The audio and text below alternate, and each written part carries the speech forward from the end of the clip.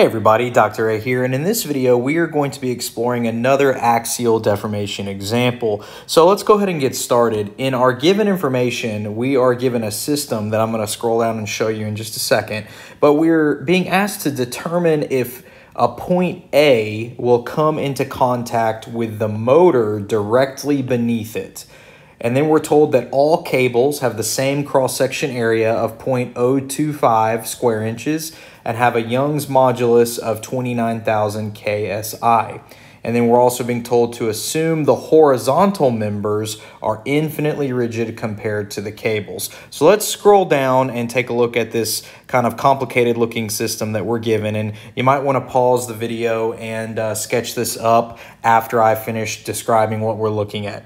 So what we have here is two horizontal members. Maybe they're beams, for example. We have one of them DEF here, and that's kind of got a dark green color, and another one ABC that has another dark green color. And that last sentence of the problem statement said that they're assumed to be very rigid or infinitely rigid compared to the three cables that we see here. We have three cables, DG, FH, and AE. And what that last sentence really means is that in terms of deformations, we're only concerned about the axial deformation, or in this case, specifically the axial elongations of these three cables. We are not uh, concerned with the deflection or the bending capacity or bending abilities of these two beams. So we're not going to be dealing with the beams wanting to bend. We're only dealing with deformations coming from the elongations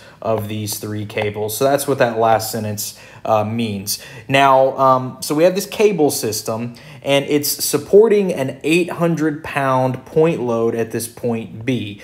Um, at point C, we have an external pin connection connected to the end of that of that horizontal member ABC. Now let's talk about our dimension lines. This horizontal member ABC is four feet long in total. The distance from A to B is given by this three foot dimension line, and the distance from B to C is given by this one foot dimension line. Up here, the horizontal member DEF is three feet long in total. The distance from D to E is measured by this one foot dimension line over here. And then the, the distance from E to F is measured by this two foot horizontal dimension line. In the vertical direction, cable AE is two and a half feet long, and then cables DG and FH are both three feet long. This three foot dimension line uh, is associated with those two vertical cables. Now we have this um, little uh, weird diagram here of a motor, and this motor is located two inches two inches below this point A. So our problem statement is asking us whenever this cable system is supporting this 800 pound load, is this 800 pound load going to eventually cause these three cables to elongate to the point in which point A comes into contact with this motor. Is point A going to deform vertically downwards and run into this motor due to the elongations of these three vertical cables, which uh, together the system is supporting this 800 pound load. So this is a problem that at first glance seems a little intimidating, but if we tackle it systematically step by step, we'll find that it's not as overwhelming as it initially looks. So let's go ahead and get started with our solution. So I'm going to go to the next page here and I'm going to write solution. And again, maybe pause and rewind the video throughout this example because this example is a bit long and you might want to pause and write some sketches down, sketch some things down uh, as we're moving through. You definitely want to write everything down because this is, a, like I said, it's kind of a long-winded example. So the first thing we're going to do is we are going to compute cable forces. Okay, that's our first step we're going to do. And this is really a statics process, okay? This is just going to be from our knowledge of statics. So the first thing I'm going to do is I'm going to draw a free body diagram. I'm going to call this free body diagram 1. And this free body diagram is going to be of the bottom beam, okay? That bottom beam uh, that has that 800 pounds hanging from it. So um, instead of writing 800 pounds, I'm going to write 0.8 kips. And um, we have here that show up an, a, a single vertical axial force, FAE. You write that a little nicer, FAE. And then at the opposite side, C, of course, we have a CY and a CX. And then we need to be proper and draw our dimension lines on our free body diagram um, as three feet and one foot. Now here, um, we actually don't need to calculate CX and CY. We can if we want to, but really we just need FAE. So in order to get that, I'm gonna say sum of the moments about point C equals zero, taking counterclockwise positive. I'm gonna say negative FAE times 4 feet plus 0.8 kips times 1 foot equals 0. And I can get that FAE is equal to 0.2 kips. It's a positive quantity, so that cable is going to be in tension here, okay? So again, that's just a static step. Next, I'm going to move to a second free body diagram, which I'm going to call FBD number two. And on FBD2, I'm going to look at that upper horizontal member, that upper beam. So when we analyze that upper beam, we have a point D here that is supporting that cable force FDG. And then on the opposite side, we have point F that is supporting the cable force uh, FFH. Now remember, cable AE is attached to this beam, okay? So cable AE is going to be attached here, and we're going to see that FAE force that we just calculated show up in this free body diagram, and that's the 0.2 kips. And from earlier, we knew it was in tension, which means it's actually pointing away from the point of contact on both free body diagrams. And so to be proper, we're going to draw our dimension lines of uh, this part of the system, and that's going to be one foot and two feet here. Now, again, maybe pause the video, rewind, make sure you're looking at the diagrams properly and you're tracking where these values are coming from. So now we need to calculate both FDG and FFH, and we're going to apply two equilibrium equations to do that. I'm going to start with sum of the moments about point F equals zero, taking things going counterclockwise, positive. I'm going to say negative FDG times 3 feet plus that 0.2 kips times 2 feet equals 0. And I'm going to get FDG is equal to 0.1333 kips. That's a positive quantity, so that's also in tension. And then I'm going to say sum of the forces in the y direction equals 0, taking things pointing up as positive. So that'll be 0.1333 kips minus 0.2 kips plus F FH equals 0. Doing some rearranging, I'm going to get FFH equals 0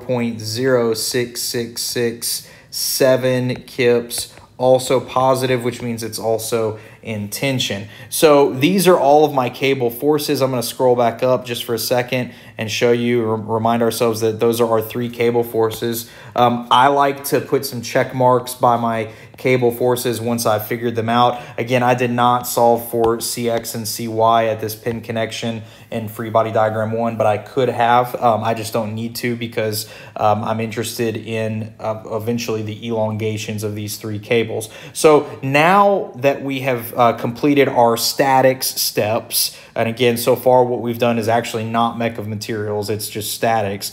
Now that we've computed, completed our statics steps, now we're going to get to the mech of materials part of this problem, which is to compute the cable deformations, okay? Compute the cable deformations. This is our mechanics of materials processes here, okay? So I'm gonna um, first start with what I did in free body diagram two, okay? So I'm gonna say from free body diagram 2, I'm to take what I just calculated and I'm to start by computing the axial deformation of cable DG. And that's to be computed from FDG times the length of DG divided by the cross-section area times the modulus of elasticity. So that's our friendly FL over AE formula. And we were told at the beginning in the problem statement,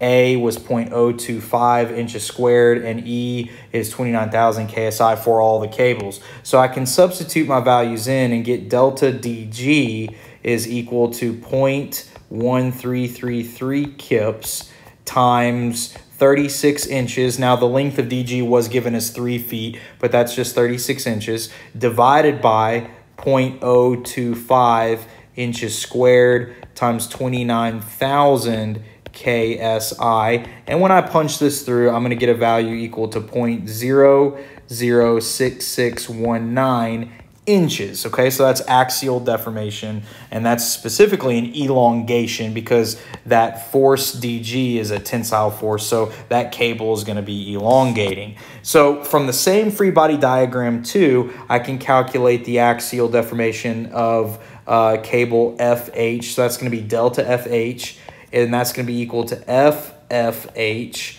times the length of FH over AE and substituting values in, I'm going to get delta FH equals 0 0.06667 kips times 36 inches over 0 0.025 square inches times 29,000 KSI. When I punch all these values in, I should get 0 0.003311 inches. Now what I'm going to draw um, to, to help us visualize this better is a deformation diagram of this part of the system, okay? So just to keep with my labeling, I'm going to call uh, this deformation diagram 2 because it's the deformation diagram that is going along with free body diagram 2. So I'm going to draw that beam, okay? And um, that had points D and F at its two different spots. And then, of course, we had a point E about right here. And um, what what's happening here, oh, and don't forget our dimension lines. That's important. So um, we had one foot and uh, I believe that was two feet here. So um, what's happening is due to the two cables, that were attached at D and then the other one at F, both of those cables have elongated by these amounts that we just calculated. So what we're going to draw is um, how this beam has basically shifted downwards um, and it's got a little tilt to it due to the elongations of the two cables. One was attached at D and one was attached at F. So you think about it, maybe pause the video. What would this look like? Well, I'm going to tell you the answer now. So point D has shifted down to a new point, let's call it D prime, and point F has shifted down to a new point. Let's call it f prime, okay? Now, the amount that point D has shifted downwards is equal to what? Well, it's equal to delta dg, the elongation of the cable that was attached at D. So this value right here is the 0 0.006619 inches. And then on the right side here, point F has shifted downwards by an amount equal to 0.003311 inches. And so this whole beam has now shifted down, but its two points have shifted down by different amounts. So now not only has the beam itself shifted downwards, but it's also at this at this slope. It's kind of got a tilt to it, okay? So just try to imagine that. And so that means that point E has shifted down to a new point E prime. So here's the question then. How do we calculate this amount that E has shifted down. That's going to be delta, and we can call that E prime here. Give it a name,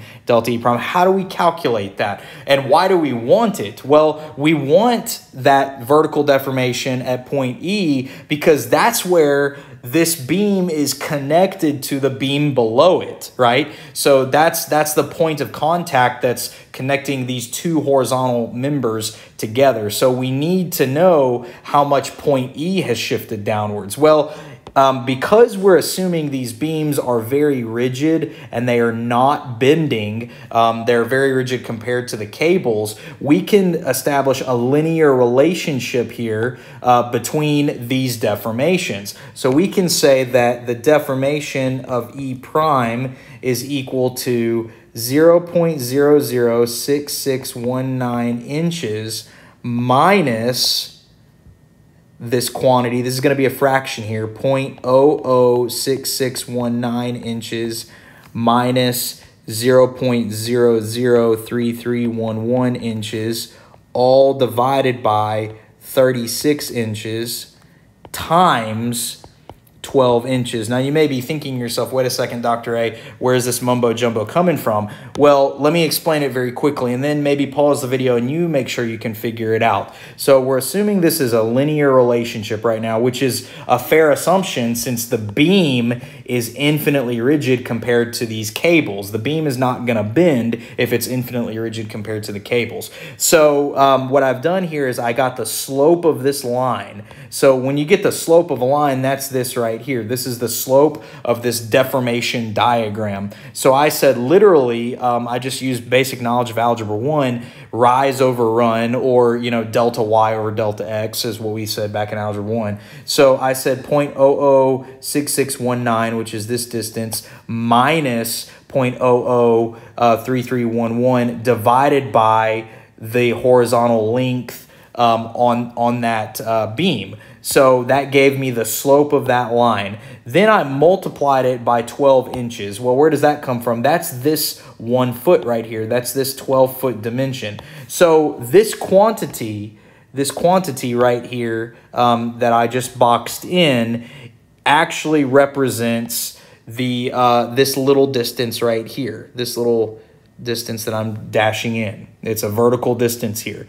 And then I took this 0.006619 distance and I subtracted that little uh, that little distance that I just talked about and that gave me this delta E prime. Now this is not the only way you can calculate this. You can establish a linear relationship in a few other ways using other concepts of direct proportionality to get delta E prime. This is just the way I did it. So this step right here is really just an algebra 1 step uh, in disguise. So again, pause the video, make sure not only you understand what I did, but if you have a different way of getting it, uh, do it your way um, as long as it's using linear relationships or direct proportionality. So when you punch this through, um, you should get a value equal to 0.00 5516 inches. Okay, so um, now we're done with deformation diagram two, which is uh, utilizing free body diagram two. Now we're gonna go to free body diagram one. Okay, so I'm gonna say from free body diagram number one, we need to perform some calculations. I'm gonna calculate the uh, elongation or, or, the deformation of point A using the cable it's attached to, which is AE. So that's going to be FAE times LAE divided by module, uh, cross-section area times modulus of elasticity. So this is going to be 0.2 kips times 30 inches. The 30 inches is the two and a half feet in the original diagram all divided by 0.025 square inches times 29,000 KSI. So when I punch this through, I get the elongation of point A, or the deformation of point A is 0.008276 inches. Now, this is the elongation or, or the deformation of point A only due to the force in uh, cable AE. But what you got to remember is the, the deformation or, or how much point A is deforming is not only due to the amount of stretch in cable AE, but it's also due to all of the deformations that occurred before or above that, which, as you just know, as you know from our previous calculations, point A is connected to point E through cable AE. So because point E has deformed by this amount that we just calculated, 0.005516, and cable AE is stretching by an amount 0.008276, the total the total deformation of point A, which we can call that delta AT for total, is actually going to be equal to delta E prime plus delta A. So we actually have to add these two quantities together. Again, point A is moving down vertically due to uh, everything that has moved down vertically that it's attached to from above. So when we add these two together, we actually get a value equaling 0.01379 inches. So this is part of our answer. The, the total vertical deformation um, or, or movement of point A is 0.01379 inches downwards. Now, the final answer to our question that was posed is Is this going to bump into that motor that is directly beneath it? So the answer is no. We're going to say point A does not come into contact with the motor since the motor is two inches below point A. Okay. Now, again, this was a long problem. It had a lot of steps. Um, you hopefully you wrote everything down. Please rewind, pause, and really think about this problem. This is a, a challenging problem in mechanics of materials. So, if this video was helpful to you, please hit like and subscribe.